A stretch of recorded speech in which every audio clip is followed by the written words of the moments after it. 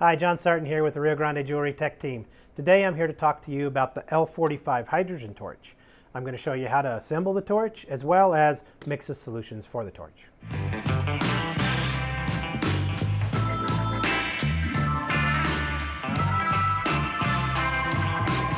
All right, let's talk about what uh, comes with the machine. So it's the machine itself.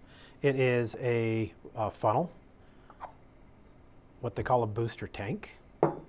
It comes with the torch handle and the hose, and then it comes with a total of six uh, burner tips, uh, two of each size, and the sizes are 0.6 millimeter, 0.7 millimeter, and 0.8 millimeter. Along with the machine, you're going to need some consumables. So you need to get uh, electrolyte solution. Now this solution is uh, 180 grams. It is the, uh, the perfect amount of mix for the L45. You're going to need the hydroflux solution, need methyl alcohol. You're also going to need a container, uh, plastic or glass container that will withstand uh, the temperatures almost boiling water, along with a glass stirring rod. Uh, I like to use a glass stirring rod. You could use uh, a metal stirring rod, but I like to use a glass stirring rod. You also need some rubber gloves and you need to have eye protection. The last thing you're going to need is either distilled or deionized water. You can get this at any store. Just look for regular distilled water uh, at your local supermarket. So I filled my container with uh, half a liter of water, uh, 500 milliliters of water, and uh, now I'm going to add the electrolyte solution. So let's open this up, and you're going to want to go ahead and pour the, all of the solution into your water. Go ahead and start stirring. There is a uh, exothermic reaction that happens whenever you mix uh, the electrolyte solution uh, with your distilled water. Um, it's going to get hot. So um, you need to go ahead and stir it. You might hear a little bit of uh, bubbling. Um, and once you feel that you've got it stirred up, pretty much everything in solution, go ahead and stop stirring. And now you're going to have to let this thing set and cool down, which is going to be probably about an hour. Uh, while we're waiting for this to cool down, we'll go ahead and we'll mix the flux solution. To mix the flux solution, you're going to need a scale because you need to weigh out the exact amount, uh, 15 to 20 grams of the uh, dry mix. A good thing to use is actually a coffee filter. Um, it already kind of has a bowl shape and as you, uh, as you pinch it, you can actually just pour it right into the bottle. So let's go ahead and get that onto the scale and we're going to tar out the scale. And then we're going to use a spoon. And we're going to weigh out 15 grams.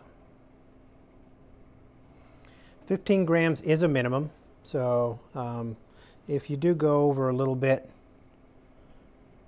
that's okay, um, just so long as you don't exceed 20 grams of flux solution. Go ahead and open up methyl alcohol.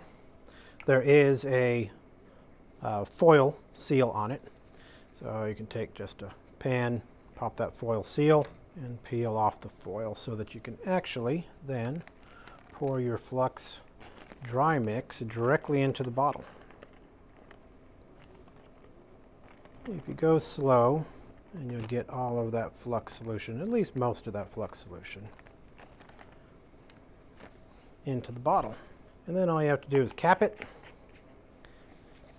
and give it a shake. What the flux solution does is it actually uh, provides a little bit of a fluxing um, effect to your soldering pieces and it also colors your flame because hydrogen burns colorless. We need to remove the safety cap. So um, this is the cap on top of the tank that we're going to be pouring our uh, electrolyte solution into use the funnel that the machine came with. Now, the electrolyte solution, uh, it's been about an hour. Electrolyte solution is, uh, is cooled down. Um, you never really want to put recently mixed electrolyte solution into the machine until it has cooled down. So um, the first thing we need to do is we need to turn the machine on and you're going to put it into the second position. Uh, the second position you can see right here, there is a funnel uh, along with a, uh, a pitcher. Um, so you need to turn that into uh, that position and on this side you're going to see green lights and a yellow light. Um, these are going to show you where your fill level is in the tank. So you really need to be in a position where you can watch this pretty carefully. So I'm going to turn this. Hope you guys can still see that. And I'm going to start to fill the machine. This is going to take a little while. Take your time. Um, you don't want to spill any of this uh, solution out. A good thing to have is some vinegar um, handy. So if you do spill it or, or uh, uh, have to clean it up, then you can use the vinegar to neutralize the solution. Uh, so you can see now that the yellow light has went off. We're going to continue to fill it up until this red light just comes on.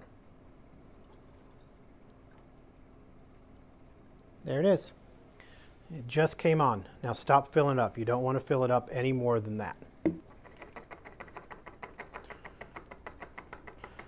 Make sure that the funnel is empty. And, uh, and now uh, we can go ahead and put the safety cap onto the machine. Okay, now that we've got the electrolyte solution in the machine and our uh, safety cap back on, I'm going to turn the machine into the off position. So I'm going to rock it into the neutral position. Now you see the lights went out. Now the machine is in the off position. Here is a good time to make sure that your dial control, this is what is going to control the amount of gas running through your torch, is into the zero position as well. We're going to now add flux to our booster tank. The booster tank has actually two chambers. There's a, an outer chamber and then there's an inner chamber, and this inner chamber has threads in it. This is what's going to be threaded onto the stem of the machine. You don't want to get flux into this inner chamber. So the easy way to do it is actually just cover it with your finger while you're filling. Another thing you need to take note of is there is a minimum and a maximum level. You don't want to go above the maximum level. And you're going to have to gauge that by just looking down into the container and kind of gauging it um, to make sure that you're not above that level. I like putting my solution kind of like in the middle. All right, so start to fill up the tank. And just by looking on the inside of the tank, um, I can tell that I'm right about here.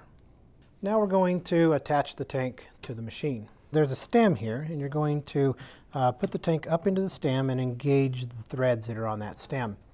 Now, one way of making sure that you are uh, you're going to engage the threads properly is by actually turning the knob backwards. So kind of like whenever you're unscrewing it, and and pushing up on the tank a little bit whenever you're doing that. And as you do that, you can actually feel whenever the threads kind of fall down and engage. right there. Even actually heard a little bit of a thunk. But you can actually feel the threads fall down and engage. And then you can go ahead and turn it to the right. Um, one thing you want to make sure is you don't cross thread this connection. Now tighten this up until you just feel uh, snug resistance. And what happen, what, what's going on there is there are gaskets here that seal. So you don't want to over tighten this. All right. Now we're going to attach the hose to the machine. And the hose attaches here to the side of uh, the bo booster tank uh, uh, attachment. It also has a nut, and this is a hose nut. You're going to take your hose, thread it through the hose nut, and then push it up on the stem. Push it up as high as you can get it, and then go ahead and thread the nut back on. The nut actually will compress the hose tighter onto that stem. Again with this, you just want it snug, you don't want to over tighten it. Now you're ready to start the machine up. Again, make sure that your knob is in the, in the zero position. And instead of rocking the switch down, you're going to rock it up. That is the on position and you can actually hear the fan kick on. Now is the time that you want to uh, let it generate uh, hydrogen for just a few minutes. And then we'll go ahead and install a burner tip and uh, we'll light the torch. Okay, the machine's been running about 10 minutes and uh, I'm going to attach a burner tip to the torch. All I do is uh, take the tip and push it onto the end of the torch. It's just a friction fit. Uh, you don't have to screw it on. It's very easy. And then I'm going to reach over here and turn up the dial. Um, on the top of the machine is a chart. Uh, see if I can get my cameraman to show you that. So this is a chart and it shows the tips. It shows the colors of the tips. It shows the size of the hole in the tips. And it also shows you a minimum and a maximum uh, on your power adjustment. Now I'm using the green tip and it says a minimum of 6 and a maximum of 10. So I'm going to go ahead and set it on 7. And at this point you should be able to feel a flow of gas coming out of the torch tip. Now the torch tip does not have an on and off valve like a regular torch. While the machine is running, it is producing gas and the gas is flowing readily right out of the tip. So all you need to do to light it is get a striker and light it. All right. So on the green tip, which is the largest tip for this machine, uh, this is at set on number seven, and this is the flame that you're going to get about on a number seven power setting.